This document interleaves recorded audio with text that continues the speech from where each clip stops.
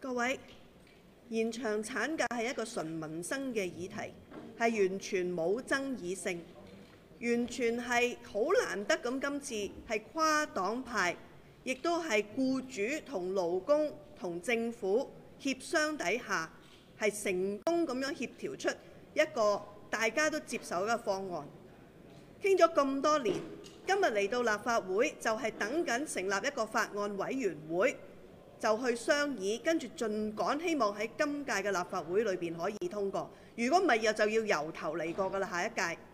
我哋喺度等，但係內會開咗十一次會，都係因為反對派嘅議員喺度玩嘢，阻住個地球轉，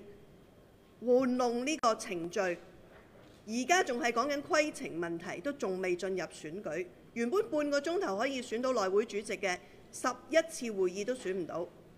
而令到法案委員會開唔成，我哋眼白白就睇住